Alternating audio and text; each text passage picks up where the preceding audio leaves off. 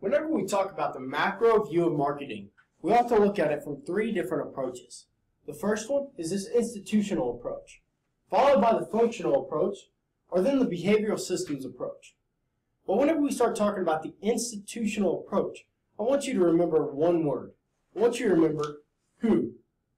Who are these institutions that are involved in the forward flow of goods and services from the consumer to the producer? Who is involved?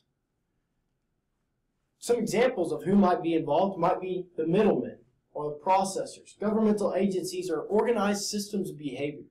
The middlemen, we've all often heard of the middleman, those people that are kind of in the middle of the production chain of this marketing channel.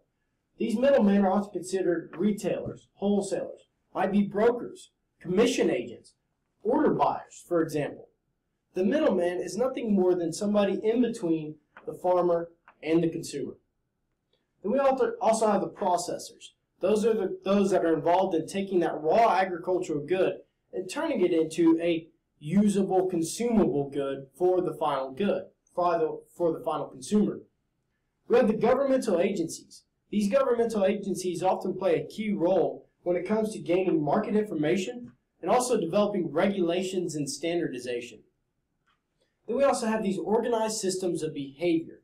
The organized systems of behavior are often groups such as organized markets, co-ops. You often heard of co-ops. Just about every small town is going to have their own farmers co-op. Those co-ops are an organized system of behavior. Uh, you also have joint ventures, alliances, things of that nature often these organized systems of behavior. And that kind of lets us look at the whys of marketing. Why is this one particular group promoting this particular aspect? It might be, say, the uh, corn producers board or something of that nature, a pork producers board, and they might be trying to market their product in a certain way. And that kind of allows us to look at the whys of marketing. Why are they doing things in a certain way? And it often we often look at these organized systems behavior whenever we're looking at the whys of marketing. The next approach is this functional approach. It looks at what needs to be done or what is being done in the marketing channel. It doesn't really look at who is doing it, but it rather looks at what is being done. So whenever you think about the institutional approach, I want you to think about who. As you think about the functional approach, I want you to think about what. So as we look at the functional approach, we break it down into three main categories, typically.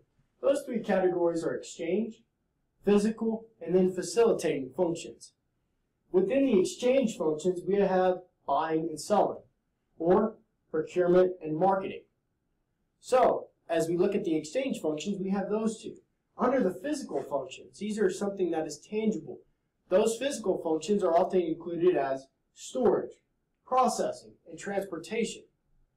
Then under the facilitating functions, we have financial functions, taking a loan out of the bank. Risk bearing, that's your insurance aspect. Standardization, such as making sure that all the commodities a, of a certain quality all grade the same way intellectual property, and then market intelligence, intelligence gathering.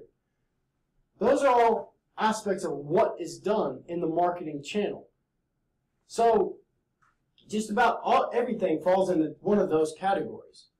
And it kind of cuts out the middleman. Whenever we look at what is being done, it allows us to cut out the middleman and say what needs to be done.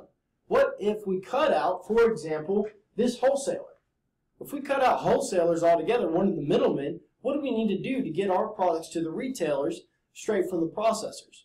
And it kind of allows us to look at, well, what if we don't have this middleman? What if what needs to be done to get around that, more or less? And it also reveals similarities of who.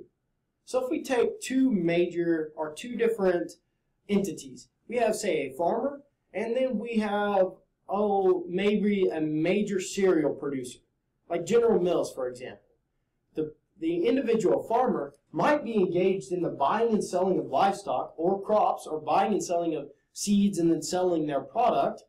They are also going to be in, involved in storage, processing, and transporting of their individual goods, whereas they might also be involved in maybe a financial aspect as well. Well, let's look at General Mills, for example. General Mills, they're going to be involved in the process of buying and selling individual goods. They're also going to be in the process of storing, processing, and transporting their products. And then they might be involved in a couple of these facilitating functions as well. So as we look at the functional approach, it allows us to see these similarities of this institutional approach. Whereas this institutional approach focuses on who, we know that a lot of the a lot of times individual companies that might be from different aspects of this marketing channel often do the same functions. So it reveals that similarities there. And then we also have the behavioral systems approach. The behavioral systems approach more or less combines the institutional and functional approach. And it allows us to look at more of a systems view of it all. It allows us to look at the interdependence and coordination among the marketing channel.